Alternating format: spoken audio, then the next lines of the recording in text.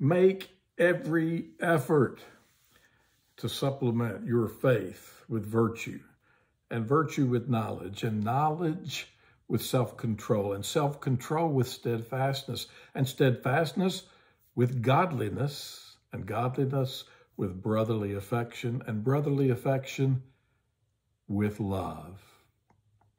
I'm Aubrey Johnson, minister of the Old Hickory Church of Christ, speaking to our LIFT teams and speaking to those who are watching this video online about the introduction to the eight virtues that we've been studying since the beginning of the year.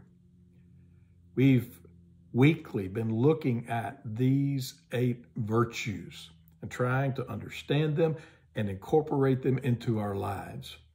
But this month in our three lift meetings, we're going to look at the words preceding and the words following the eight virtues. Tonight, we're going to look at make every effort. Make every effort to supplement your faith. And there's basically three things that I want us to think about. Number one is effort. What is the key to success? It's understanding, in part, it is understanding that life responds to applied effort, consistent applied effort. Now, I know some people would quote the book of Ecclesiastes, where Solomon says in chapter 1 and verse 3, What benefit do people get from all the effort which they expend on the earth? That sounds a little pessimistic. In chapter 2 of Ecclesiastes, in verse 11, he continues, Yet when I reflected on everything I had accomplished and on all the effort that I had expended to accomplish it, I concluded all these achievements and possessions are ultimately profitless.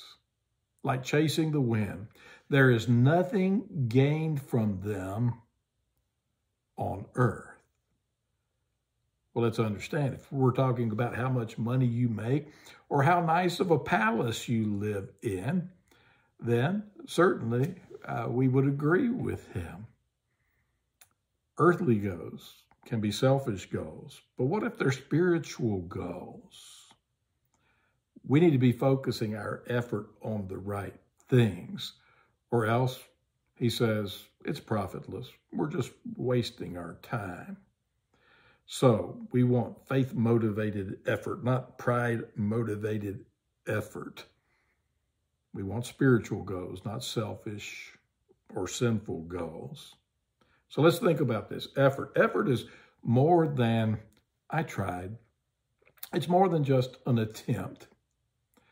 Effort refers to a, a rigorous attempt, a determined attempt. That's a totally different thing from wistfully longing for something. It's different from wishful thinking. It's different from uh, professions that something was important. It's more important than just good intentions. It is determined doing. Now let's think about this word every. Make every effort because sometimes we kid ourselves about that. We think we have done all that we know to do when we've tried one or two things and it didn't turn out and we excuse ourselves from more serious engagement. When he says make every effort, he's saying you need to undertake meaningful goals, spiritual goals, conscientiously. You need to do it seriously. Leave no stone unturned. You need to be exhaustive.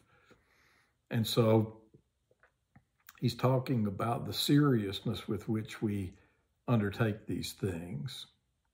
In John chapter 19 and verse 12, Pilate, it says, made every effort to release Jesus, at least in his own mind. He thought he did, but all he had to do was say, let him go. It was in his power. He's the man who made the decision. And what the text is really saying is he made every effort,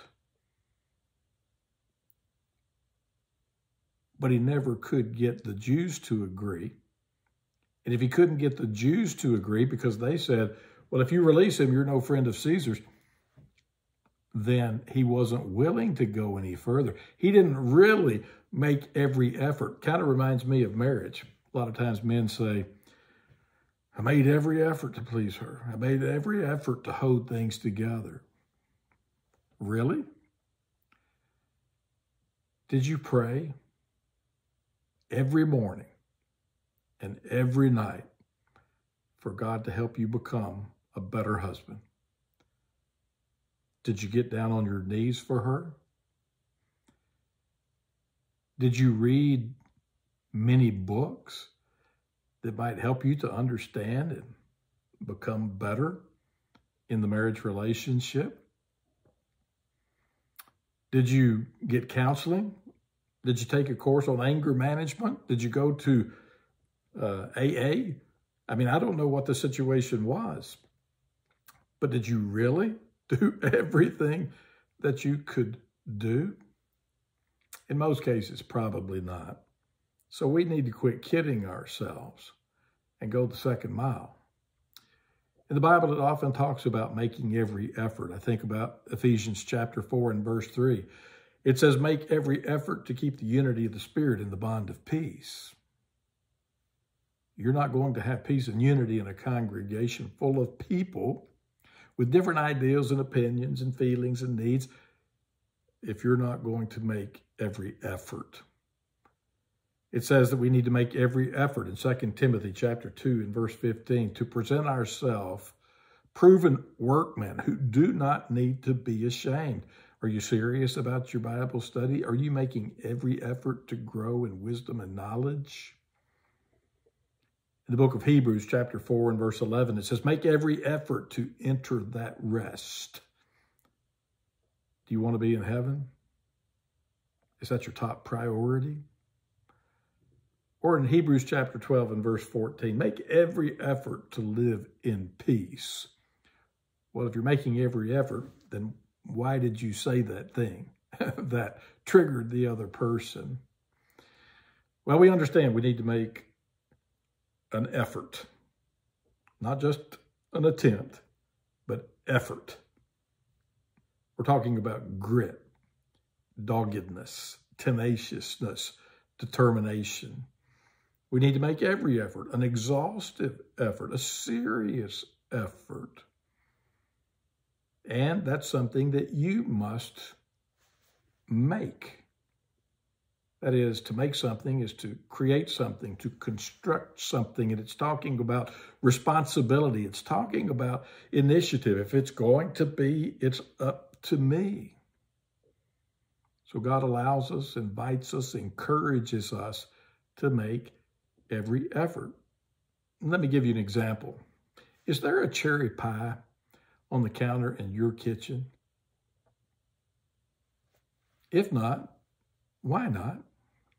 Well, it's because you didn't make it or you didn't buy it. But do you have any question that if you want that, that tomorrow there could be a cherry pie on your counter or on your supper table or in your mouth?